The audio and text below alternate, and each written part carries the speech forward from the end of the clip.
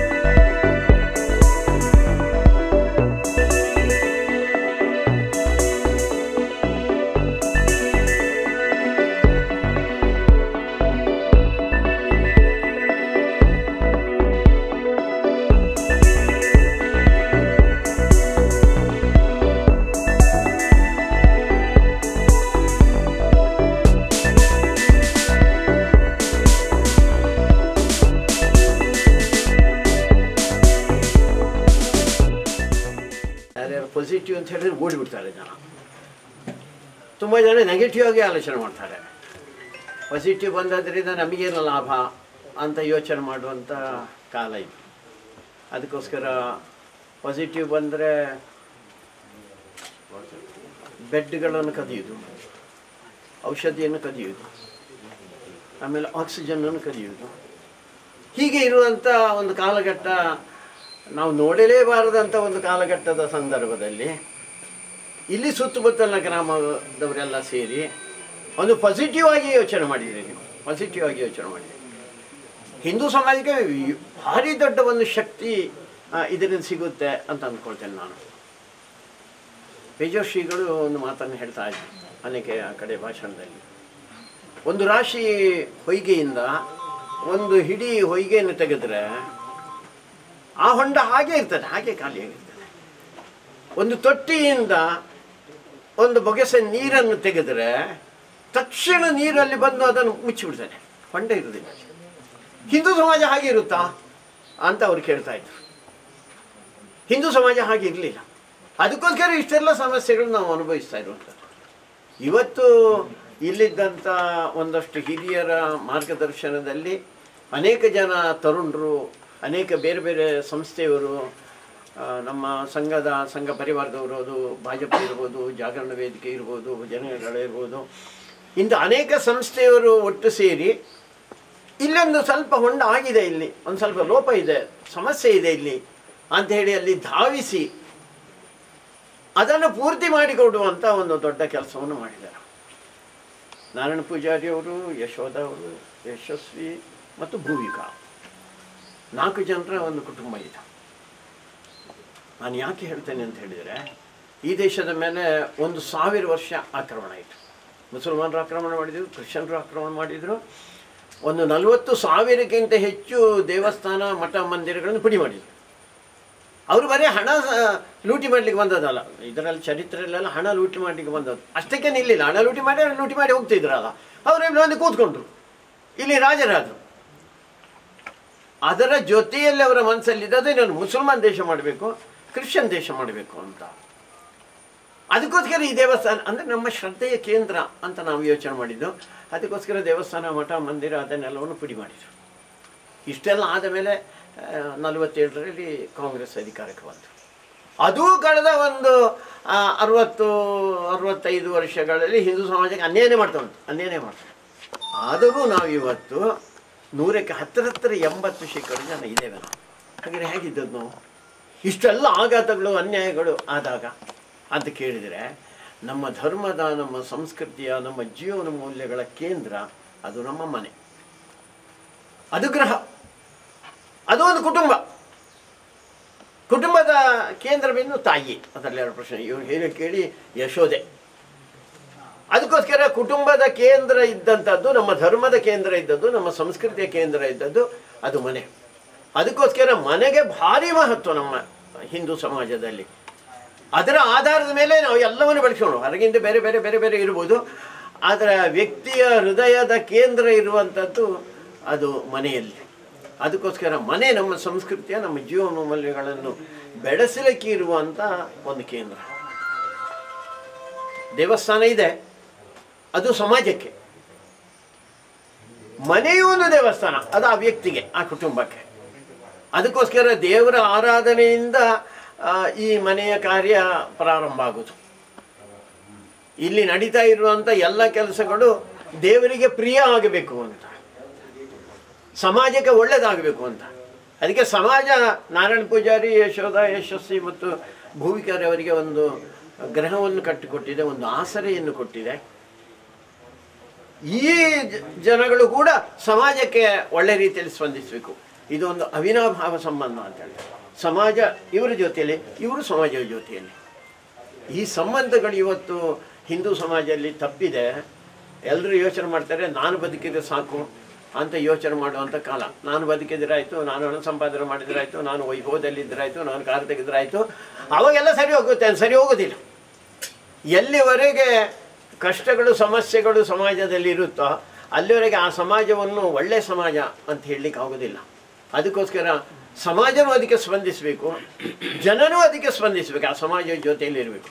ಅದಕ್ಕೋಸ್ಕರ ಈ ಹಿಂದೂ ಸಮಾಜದ ಇವತ್ತಿನ ಒಂದು ಪರಿಸ್ಥಿತಿಯಲ್ಲಿ, ಆಘಾತಗಳನ್ನು ಎದುರಿಸ್ತಾ ಇರುವಂಥ ಸ, ಪರಿಸ್ಥಿತಿಯಲ್ಲಿ, ಸವಾಲುಗಳನ್ನು ಎದುರಿಸ್ತಾ ಇರುವಂಥ ಸಂದರ್ಭದಲ್ಲಿ ಸಮಾಜ ಸಮಾಜವಾಗಿ ಎದ್ದು ನಿಲ್ಲಬೇಕು.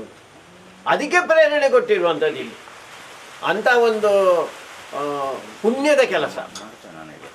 ಯಾರು ಸಮಸ್ಯೆಯಲ್ಲಿರ್ತಾರೆ ಕಷ್ಟದಲ್ಲಿದ್ದಾರೆ. ಅವರಿಗೆ ಸಹಕಾರ ಮಾಡೋದು ಅದು ದೇವರ ಕೆಲಸ ಅಂತ ಅದಕ್ಕೋಸ್ಕರ ಅಂಥ ಪುಣ್ಯದ ದೇವರ ಕೆಲಸವನ್ನು ಇಲ್ಲಿದ್ದಂಥ ಎಲ್ಲ ಹಿಂದೂ ಸಮಾಜದ ಪ್ರಮುಖರು, ಸಾಮಾನ್ಯ ಜನ, ಇಲ್ಲಿ ಅನೇಕರು ಸೇವಾ ಕಾರ್ಯಗಳನ್ನು ಬಂದು ಮಾಡಿದ್ದಾರೆ ಅಂತ ಕೇಳಿದೆ ನಾನು. ಇಲ್ಲಿ ಬಂದು, ಇಲ್ಲಿ ಬಣ್ಣ ಕೊಟ್ಟಿರುವಂಥದ್ದು ಅವರೇ ಬಣ್ಣ ತಗೊಂಡು ಬಂದರೆ ಅವರೇ ಬಣ್ಣ ಕೊಟ್ಟಿರುವಂಥದ್ದು ಇಲ್ಲಿ ಮನೆ ಕಟ್ಟಿರುವಂಥದ್ದು ಕಲ್ಲು ಕಟ್ಟಿರುವಂಥದ್ದು ಸಿಮೆಂಟ್ ಒಂದೆರಡು ಜನ ಕೊಟ್ಟರು ಒಂದೆರಡು ಜನ ಮರಳು ಕೊಟ್ಟರು ಅದರ ಜೊತೆಯಲ್ಲಿ ಕಟ್ಟಡವನ್ನು ಕಟ್ಟುವಂಥ ಕೆಲಸ ಕೂಡ ಶ್ರಮದಾನದಿಂದ ಆಯಿತು ಅಂತ ಕೇಳಿದೆ. ಇದು ಮುಂದುವರಿಬೇಕು. ಎಲ್ಲಿ ಲೋಪ ಇದೆ? ಲೋಪ ಇರಬೇಕು ಅಂತ ನಮ್ಮ ಅಪೇಕ್ಷೆ ಇಲ್ಲ. ಹತ್ತಾರು ಮನೆಗಳನ್ನು ಕಟ್ಟಿಕೊಡ್ಬೇಕು ಅಂದರೆ ಹತ್ತಾರು ಮನೆಗಳು ಹಾಳು ಇರಬೇಕು ಅಂತ. ಹಾಗಿಲ್ಲ ನಮ್ಮ ಮನಸ್ಸಿನಲ್ಲಿ. ಆದರೆ ಎಲ್ಲಿ ಇದೆ, ಸಮಸ್ಯೆ ಇದೆ ಇದು ಜಗತ್ತಿನಲ್ಲಿ ಇರುವಂಥದ್ದೇ ಎಲ್ಲರೂ ಒಂದೇ ರೀತಿಯಾಗಿ ಬದುಕಲಿಕ್ಕೆ ಆಗುವುದಿಲ್ಲ ಒಂದಷ್ಟು ಜನ ದುಃಖದಲ್ಲಿರ್ತಾರೆ, ನೋವಿನಲ್ಲಿರ್ತಾರೆ, ಸಮಸ್ಯೆಯಲ್ಲಿರ್ತಾರೆ. ಅವರಿಗೆ ಸ್ಪಂದಿಸುವಂಥ ಈಗ ಕೊರೋನಾದ ಸಂದರ್ಭದಲ್ಲಿಯೂ ನಮ್ಮ ಕಡೆಯಿಂದ, ಸೇವಾ ಭಾರತೀಯ ಕಡೆಯಿಂದ ಭಾರಿ ಭಾರಿ ಕೆಲಸಗಳಾಗಿದೆ. ಆ್ಯಂಬುಲೆನ್ಸ್ ಆಗಿದೆ ಉಲ್ಲಾಸ ಆಗಿದೆ. ಸುಭಾಷ್ ಗೊತ್ತು ಇಡೀ ಒಂದು ಪರಿವಾರ ಒಟ್ಟಾಗಿ ಸೇರಿ ನಾವು ಅನೇಕ ಸೇವಾ ಕಾರ್ಯಗಳನ್ನು ಆ, ನಮ್ಮ ಕಡೆಯಿಂದ ಕೋವಿಡ್ನ ಸಂದರ್ಭದಲ್ಲಿ ಅದು ಔಷಧಿ ಕೊಡೋದ್ರಿಂದ ಹಿಡಿದು ಪೇಷಂಟನ್ನು ಕೊಂಡೋಗೋದ್ರಿಂದ ಹಿಡಿದು ಅಕಸ್ಮಾತ್ ಪೇಷಂಟ್ ಅವನು ಜೀವಂತವಾಗಿ ಉಳಿಲಿಲ್ಲ ಅಂತ ಹೇಳಿದ್ರೆ ಅದಕ್ಕೂ ಸಂಸ್ಕಾರ ಏನು ಮಾಡಬೇಕು? ಕೆಲವು ಕಡೆಯಲ್ಲಿ ಬೇರೆಯವರು ನಾವು ಸಂಸ್ಕಾರ ಮಾಡ್ತೇವೆ ಅಂತ ಹೇಳಿ ಕಾದಂತೆ ಭಜನೆ ಶರಣ ಅದನ್ನು ಹೇಳಿದಾಗ ಭಾರಿ ಕೆಟ್ಟ ಸಂಸ್ಕಾರ ಬಂತು. ನಮ್ಮದು ನಾವೇ ಮಾಡೋದು ಅದಕ್ಕೆ ಇನ್ನೊಬ್ಬ ಹಿಂದೂ ಸಂಸ್ಕಾರದ ರೀತಿಯಲ್ಲಿ ಶವ ಸಂಸ್ಕಾರ ಮಾಡಲಿಕ್ಕೆ ಆಗುದಿಲ್ಲ ಅದಕ್ಕೆ ಹಿಂದೂವೇ ಮಾಡಬೇಕು ಇನ್ನೊಬ್ಬ ಶವ ಸಂಸ್ಕಾರ ಮಾಡಬೇಕು ಅದಕ್ಕೋಸ್ಕರ ಹುಡುಗಿ ಹುಡುಗಿ ಎಲ್ಲೆಲ್ಲ ಇಂಥದ್ದಿದೆ ಅಂಥದಕ್ಕೆ ಉತ್ತರ ಕೊಡುವಂಥ ಸಂದ- ಸಂದರ್ಭ ಇವತ್ತು ಹಿಂದೂ ಸಮಾಜದಲ್ಲಿ ಬರ್ತಾ ಇದೆ ಅದಕ್ಕೋಸ್ಕರ ಏನೇ ಸಮಸ್ಯೆ ಬರಲಿ ಹಿಂದೂ ಸಮಾಜ ಒಂದಾಗಿ ಒಟ್ಟಾಗಿ ಎದ್ದು ನಿಲ್ಲಬೇಕಾದಂಥ ಅಗತ್ಯ ಇದೆ ಸವಾಲುಗಳಿಗೆ ಉತ್ತರ ಏನಪ್ಪ ಸವಾಲುಗಳು ಹತ್ತಾರು ಬರಬೇಕು ಉತ್ತರ ಒಂದೇ ಹಿಂದೂ ಸಮಾಜ ಸಂಘಟಿತ ಸಂಘಟಿತವಾದಂಥ ಸಮಾಜದಲ್ಲಿ ಭಾರಿ ದೊಡ್ಡ ಶಕ್ತಿ. ಐದು ಕಾರಣದಿಂದ ಒಟ್ಟು ಸೇರಿದಾಗ ಅದಕ್ಕೆ ಶಕ್ತಿ. ಅದಕ್ಕೋಸ್ಕರ ನಮ್ಮೆಲ್ಲ ಸಣ್ಣ ಪುಟ್ಟ ಭಾವನೆಗಳನ್ನು ಬಿಟ್ಟು ಜಾತಿ, ಮತ, ಸಂಪ್ರದಾಯ, ಕಲ್ತವ ಕಲ್ಯಾಣವ ಶ್ರೀಮಂತ, ಬಡವ ಬಿಳಿಯವ ಕಪ್ಪಿನವ ಇದೆಲ್ಲವನ್ನು ಬದಿಗೆ ಸರಿಸಿ. ನಾವೆಲ್ಲರೂ ಒಂದು ಕುಟುಂಬಕ್ಕೆ ಸೇರಿದವರು. ತಾಯಿ ಭಾರತ ಮಾತೆಯ ಮಕ್ಕಳು ನಾವು. ಅಂತ ಹೇಳುವಂಥ ಹಿನ್ನೆಲೆ ಇಟ್ಕೊಂಡು ಇಲ್ಲೇನು ಕೆಲಸ ನಡೆದಿದೆ? ಅದೇ ರೀತಿ ಸಮಸ್ಯೆ ಯಾವಾಗ ಯಾವುದೇ ಬಂದರೂ ಕೂಡ ಅದಕ್ಕೆ ಅದೇ ರೀತಿ ಉತ್ತರ ಕೊಡುವಂಥ ಸಮಾಜ ಆಗಬೇಕು ನಮ್ಮದು. ಆ ದೃಷ್ಟಿಯಿಂದ ನಾವು ನೋಡ್ತಾ ಇದ್ದೇವೆ, ಮುಂದೆ ನೋಡ್ತಾ ಇದ್ದೇವೆ. ಈ ದೇಶವನ್ನು ಒಟ್ಟು ಮಾಡುವಂಥ ಭಾರಿ ದೊಡ್ಡ ಕೆಲಸ ಮೋದಿಯವರು ಮಾಡ್ತಾ ಇದ್ದಾರೆ. ಕಾಶ್ಮೀರವರು ತಗೊಂಡಿರೋದು ಭಾರಿ ದೊಡ್ಡ ಸಾಧನೆ. ಸರ್ಜಿಕಲ್ ಸ್ಟ್ರೈಕ್ ಮಾಡಿರೋದು ಇನ್ನೊಂದು ದೊಡ್ಡ ಕೆಲಸ. ಅಂದರೆ ನಾವು ಪರಾಕ್ರಮಕ್ಕೂ ಸಿದ್ಧರಿದ್ದೇವೆ ಸೇವೆಗೂ ಸಿದ್ಧರಿದ್ದೇವೆ ನಾವು. ಅಂತ ಹೇಳುವ ರೀತಿಯಲ್ಲಿ ಇಡೀ ದೇಶವನ್ನು ಒಟ್ಟು ಮಾಡುವಂಥ ಕೆಲಸ ಆ ಕಡೆಯಿಂದಲೂ ನಡೀತದೆ. ಒಬ್ಬ ಸ್ವಯಂ ಸೇವಕ ಆ ಸ್ಥಾನದಲ್ಲಿ ಕೂತರೆ ಏನು ಮಾಡಬಹುದು ಅಂತ ಹೇಳೋದಕ್ಕೆ ನರೇಂದ್ರ ಮೋದಿ ಅವರು ಒಂದು ಉತ್ತರವನ್ನು ಕೊಟ್ಟಿದ್ದಾರೆ. ಅದೇ ರೀತಿ ಇಲ್ಲಿದ್ದಂಥ ಒಬ್ಬ ಸಾಮಾನ್ಯ ಸ್ವಯಂ ಸೇವಕ ನಾನು ಕಾಶ್ಮೀರದಲ್ಲಿ ಕೆಲಸ ಮಾಡಬೇಕು ಅಂತಿದ್ದೀನಿ ಅಥವಾ ಬಂಗಾಳದಲ್ಲಿ ಹೋಗಿ ಕೆಲಸ ಮಾಡಬೇಕು ಅಂತ. ಈ ಊರಿನಲ್ಲಿ ಏನಿದೆ? ಈ ಊರಿನ ಸಮಸ್ಯೆಗೆ ಉತ್ತರ ಕೊಡುವಂಥ ಕೆಲಸ ಅಂತ ನೀವು ಒಂದು ಮಾರ್ಗದರ್ಶಕ ರೀತಿಯಲ್ಲಿ ನೀವು ಮಾಡಿದ್ದೀರಾ ಅದು ಎಲ್ಲರಿಗೂ ಪ್ರೇರಣೆ ಕೊಡಲಿ ಅಲ್ಲೊಂದು ಮನೆ ಇದೆ ಮಾರ್ಯಾರೆ ಮಾರ್ಗದ ಮಧ್ಯೆ ತುಂಬ ಸಮಯದಿಂದ ಇತ್ತು ಯಾರು ನೋಡಲೇ ಇಲ್ಲ. ಯಾರೋ ಒಬ್ಬ ಸ್ವಯಂ ಸೇವಕನಿಗೆ ಅಂತ ಕಂಡಿದ್ದು ಬರೀ ಟರ್ಪಲ್ ಹಾಕಿ, ಈ ಮನೆಯು ಹಾಗೂ ಅಲ್ಲ ಟರ್ಪಲ್ ಹಾಕಿ ಇದ್ದಂಥ ಮನೆ ಆ ಮನೆಗೆ ಅವರು ಹೋದರು, ಹೋದಾಗ ಗಂಡ ಹೆಂಡತಿ, ಎರಡು ಮಗು. ನಾಲ್ಕು ನಾಯಿ ಆ ಮನೆಯಲ್ಲಿ ಆಮೇಲೆ ಅಲ್ಲಿಗೆ ಹೋದರು ಕೇಳಿದ್ರೆಲ್ಲ ಕತೆ ಎಲ್ಲ ಕೇಳಿ ಹೋಗೋ ಪರಿಸ್ಥಿತಿ ಈಗ. ಅದಕ್ಕೆ ಒಂದು ಸುಮಾರು ಮೂರು ತಿಂಗಳ ಹಿಂದೆ ನನಗೊಂದು ಸೌಭಾಗ್ಯ ಸಿಕ್ಕಿತ್ತು. ಅಲ್ಲಿ ಶಿಲಾನ್ಯಾಸ ಆಗಿದೆ. ಈಗ ಕಟ್ಟಡ ಆಗುವಂಥ ಸಂದರ್ಭ ಇರ್ಬೋದು. ಕಾಣ ಕಾಣಬೇಕು ನಮಗೆ.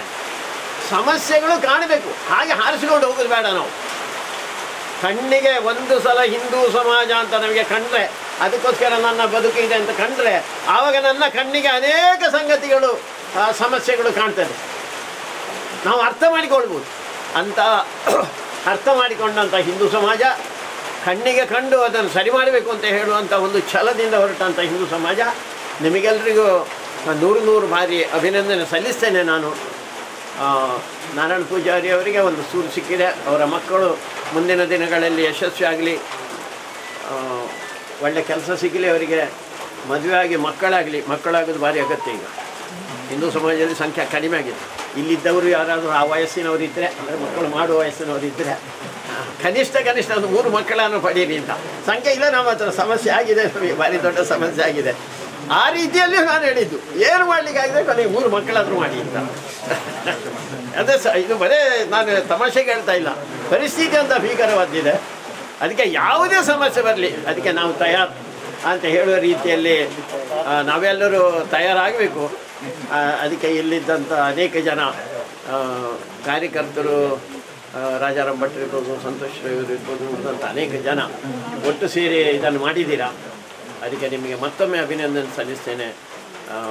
ಹಿಂದೂ ಸಮಾಜ ಶಕ್ತ ಸಶಕ್ತವಾದಂಥ ಹಿಂದೂ ದೇಶ ಸಶಕ್ತವಾಗಿರುವಂಥ ರಾಮರಾಜ್ಯ ಬರ್ತಾ ಇದೆ. ಒಂದು ಮಾತನ್ನು ಏನು ಮುಗಿಸ್ತೇನೆ ನಾನು. ರಾಮರಾಜ್ಯ ಅದರ ಕಲ್ಪನೆಯ ಜೊತೆಯಲ್ಲಿ ಆಗಸ್ಟ್ ಐದನೇ ತಾರೀಕಿಗೆ ನರೇಂದ್ರ ಮೋದಿಯವರು ಅಯೋಧ್ಯೆಯಲ್ಲಿ ಭೂಮಿ ಪೂಜೆ ಮಾಡಿದ್ದಾರೆ. ಪರಂಪೂಜನೀಯ ರಾಷ್ಟ್ರೀಯ ಸ್ವಯಂ ಸೇವಕ ಸಂಘದ ಸತ್ಸಂಗ ಚಾಲಕ ಮೋಹನ್ ದೇವರು ಭಾಗವತರ ಉಪಸ್ಥಿತಿಯಲ್ಲಿ ಕಾರ್ಯಕ್ರಮ ನಡೆಯಿತು ನೋಡಿದ್ದೀರಾ? ಅದು ಲೈವ್ ಆಗಿ ಕೋಟಿ ಕೋಟಿ ಜನ ಅದನ್ನು ನೋಡಿದ್ದಾರೆ. ಕೆಲವು ಜನ ಹಿಂದಿನ ರಾತ್ರಿಯೇ ಭಜನೆ ಮಾಡ್ತಾ ಮಾಡ್ತಾ ಕಾಯ್ತಾ ಇದ್ರು ಹನ್ನೊಂದು ಗಂಟೆ. ನಮ್ಮಲ್ಲಿ ಮಾತ್ರ ಇಡೀ ಜಗತ್ತಿನ ಜನ ನೋಡಿದ್ದಾರೆ ಅದನ್ನು. ಅಮೇರಿಕಾದಲ್ಲಿ ಒಂದು ಟೈಮ್ ಸ್ಕ್ವೇರ್ ಅಂತ ಇದೆ. ಆ ಟೈಮ್ ಸ್ಕ್ವೇರ್ನಲ್ಲಿ ಅದು ದೊಡ್ಡ ಪರದೆ ಹಾಕಿ ಇದನ್ನು ತೋರಿಸ್ತಾ ಇದ್ರು. ಸಾವಿರಾರು ಜನ ನೋಡ್ತಾ ಇದ್ರು. ನೋಡಿದವ್ರು ಯಾರು ಅಂದರೆ ಬರೀ ಭಾರತೀಯರಲ್ಲ. ಅಮೇರಿಕಾದವರು ಇಂಗ್ಲೆಂಡ್ನವರು ಇದ್ದರು ಚೀನಾದವರು ಜಪಾನ್ ಇದ್ದರು ಜರ್ಮನ್ ಇದ್ದರು ಸ್ಪೈನ್, ಬೇರೆ ಬೇರೆ ದೇಶದವರು ಇದ್ದಾರಲ್ಲ. ಎಲ್ಲರೂ ಕುಣಿತಾ ಇದ್ದಾರೆ ಅಂತ. ಭಾರತೀಯರಿಗೆ ಆಶ್ಚರ್ಯ ಆಯಿತು. ಅವರಲ್ಲಿ ಯಾಕೆ ಕುಣಿಯುವುದು ಅಂತ. ಅದಕ್ಕೋಸ್ಕರ ಅವ್ರ ಹತ್ರ ಕೇಳಿದೆ ಅಂತೆ, ನೀವು ಯಾಕೆ ಕುಣಿಯುವುದು ಅವಾಗ ಅವರೇ ಹೇಳಿದ್ದು, ರಾಮ ಬರ್ತಾನೆ ಅಂತ. ರಾಮ ಬಂದರೆ ನಿಮಗೇನು ಅಂತ. ಅವಾಗ ಹೇಳಿದ್ರು ರಾಮರಾಜ್ಯ ಬರ್ತದೆ ಅಂತ. ಆಯ್ತು ರಾಮರಾಜ್ಯ ಬಂದರು ನಿಮಗೇನಪ್ಪ? ಆವಾಗ ಅವರು ಹೇಳಿರುವಂಥದ್ದು, ನಮ್ಮ ಬದುಕು ಅಸಹನೀಯ, ಭಾರಿ ಕಷ್ಟ ಆಗಿದೆ. ನಮ್ಮ ಮೇಲೆ ಗಲಾಟೆಗಳು, ಗೊಂದಲಗಳು, ಹತ್ಯೆಗಳು, ಭಯೋತ್ಪಾದನೆ, ಮತಾಂತರ, ಇಂಥ ಎಲ್ಲವೂ ನಡೀತಾರೆ ನಾಳೆ ಬೆಳಿಗ್ಗೆ ಏನು ಅಂತ ಹೇಳುವಂಥ ಜೀವನ ಏನು ಅಂತ ಹೇಳೋ, ಆತಂಕದ ಸ್ಥಿತಿಯಲ್ಲಿದ್ದೇವೆ. ಒಂದು ಸಲ ರಾಮ ಬಂದರೆ ರಾಮರಾಜ್ಯ ಬಂದರೆ, ನಾವು ಸುಖ ಶಾಂತಿಯಲ್ಲಿ ಇರ್ತೇವೆ ಜಗತ್ತಿನ ಜನ ಯೋಚನೆ ಮಾಡ್ತಾರೆ. ಅಂಥ ರಾಮರಾಜ್ಯ ನಿರ್ಮಾಣ ಆಗೋದು ಅಂಥ ರಾಮ ಮಂದಿರ ನಿರ್ಮಾಣ ಆಗುವಂಥ ಹಂತದಲ್ಲಿ ಇಲ್ಲಿ ಒಂದು ಮಂದಿರ ನಿರ್ಮಾಣ ಆಗುವಂಥ ಚಿಂತನೆ ನಿಮ್ಮಲ್ಲಿ ಬೆಳೆದಿದೆ ಅಲ್ಲ? ಇದು ಆಗಬೇಕಾದ್ರು ನರೇಂದ್ರ ಮೋದಿ ಅವರು ಹೋರಾಟ ಮಾಡ್ತಾ ಇದ್ದಾರೆ. ಒಬ್ಬರು ಹೋರಾಟ ಮಾಡಿ ಏನಾಗಲಿಕ್ಕಿಲ್ಲ? ಅಷ್ಟು ಸುಲಭನಲ್ಲ. ನಾವು ಎಲ್ಲರೂ ನರೇಂದ್ರ ಮೋದಿಯವರ ಭಾವನೆಯ ಜೊತೆಯಲ್ಲಿ ನರೇಂದ್ರ ಮೋದಿಯವರಾಗಿ ಆಗಬೇಕು ಅಂತ ಯೋಚನೆ ಮಾಡಿ. ಅಂದರೆ ಪ್ರಧಾನಮಂತ್ರಿ ಆಗಬೇಕು ಅಂತ. ಹಾಗಲ್ಲ ನಾನು ಹೇಳೋದು. ಆ ಭಾವನೆಯ ಜೊತೆಯಲ್ಲಿ ನಾವೇನಾದ್ರು ಕೆಲಸ ಮಾಡಿದರೆ ಒಂದು ಭ್ರಷ್ಟಾಚಾರ ರಹಿತ ಪಾರದರ್ಶಕವಾದಂಥ ಸೇವಾ ಮನೋಭಾವನೆ ಇರುವಂಥ ಒಂದು ವ್ಯಕ್ತಿತ್ವ ನಮ್ಮಲ್ಲಿ ನಿರ್ಮಾಣ ಆದರೆ ಆವಾಗ ರಾಮರಾಜ್ಯ ಆಗ್ತದೆ. ಆ ರಾಮರಾಜ್ಯಕ್ಕೆ ನಾಂದಿ ಆಗಲಿ ಇದು. ಎಲ್ಲರಿಗೂ ಶುಭವಾಗಲಿ